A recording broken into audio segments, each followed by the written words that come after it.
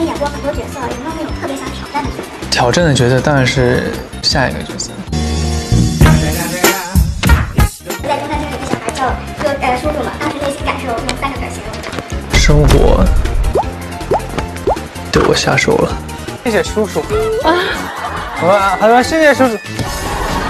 我都是叔叔了，我都是叔叔了。他叫我叔叔，他叫我叔叔。